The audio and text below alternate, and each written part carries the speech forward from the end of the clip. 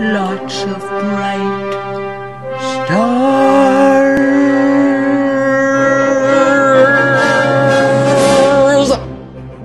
We open in the town of Krypton. I planet, not town. I suck in math. I mean science.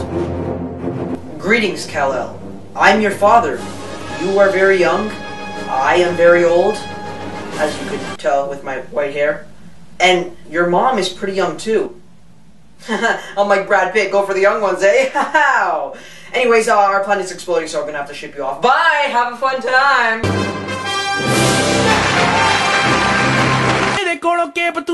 Superman.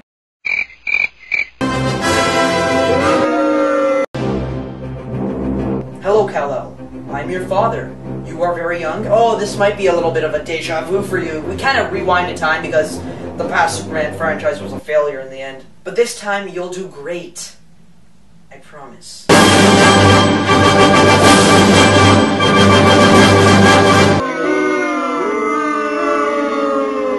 Alright, this is the last time. If we don't get it this time, I'm calling up shop. We're done, man. We're done if we don't get it this time.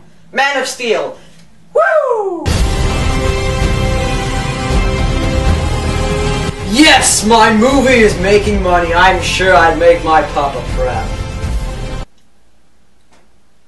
No!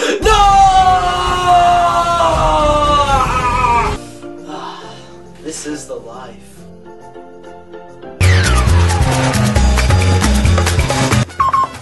Marker. And action. What's going on, Mega Movie people? I'll tell you what's going on.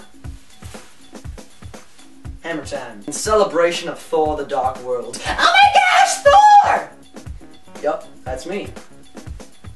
A little background on me, I'm a huge Marvel fan. Thor fan, not so much though. He's a really intimidating guy. Just look at that ponytail. And after seeing this movie, my opinion on him hasn't changed a bit. The first half of the movie, I was kind of like, um, let's count how many people are in the theater. I'm bored.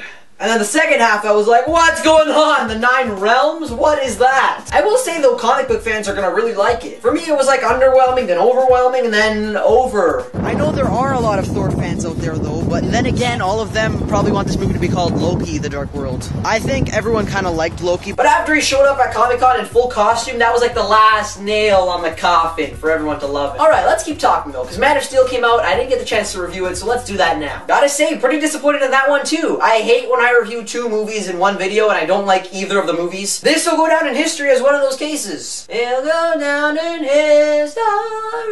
Who's excited for Christmas? Comment below. Whoa, whoa, whoa, whoa. You guys want to know why I was disappointed in Man of Steel, so let's not end the video. The movie started and I really liked it, but then right after the flashbacks, when Superman becomes Superman, it just goes.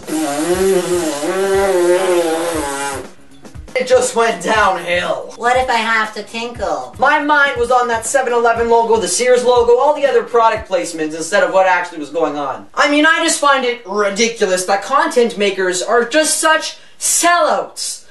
Like, why would you do it? Like, it's so distracting. You can't even focus on what's going on. And the whole Superman persona where he's charming and he smiles and he saves people and winks and flies off into the sunset wasn't there. I actually don't think there was ever a sunset in any of the movies. The script is not funny. There is zero jokes in this movie. And Thor had some jokes, but they used like Kat Dennings as the major character who gave the comic relief and she's kind of annoying. In fact, when everyone was like, get her out of there for Thor 2, Marvel was like, okay. Kat Dennings? Hey, it's Marvel. I just didn't find myself having a good time. Superman is Superman. Batman's Batman. Why are you trying to make Superman like Batman? The whole point is to have the contrast so when you have their duo movie, you see that contrast. Now they're both going to be dark? Come on. But hopefully Superman vs. Batman is actually fun. The next movie in 2015. When was the last time we had a good Superman movie? Superman 2? uh, well actually, Superman 4, The Quest for Peace was- No, it wasn't! So that's gonna do it for my superhero sum up. Hey, that was a pretty close one. Shut up!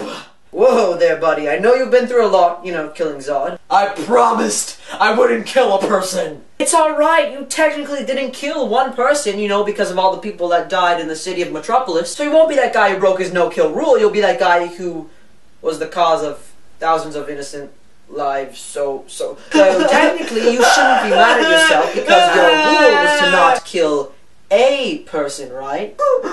well, uh, yeah.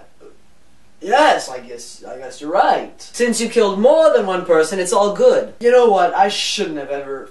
You just you really have a way with words. Aha, thanks, Soups. Now you could go home, have a drink, relax, smoke some kryptonite, you know, the usual.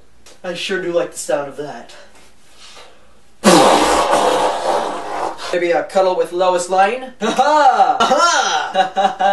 She's beautiful, isn't she? Oh yes, the eyes, the ears, the smile. Oh, that smile. The nose, you know? Yeah. Hmm? I mean, it's great, it's great. I'd still definitely do things to her. Uh, it's just, she's not as, you know, hot as uh, Natalie Portman by any means. Excuse me? It's just Natalie is freaking smoking like when I leave my hammer out to dry on a hot summer day. When I go around that woman, I'm afraid, honestly, because I want to touch her, but she's so hot, I'm afraid I might get burnt. And I'm Thor.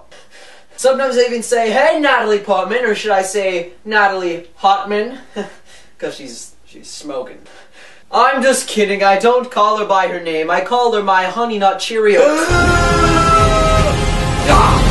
Whatever, they're both kind of gods that got They're sent- not gods. Super Thor gets his power. They're both Where's guys with red capes. So i it's fair to to to compare the two. No, it's um, not.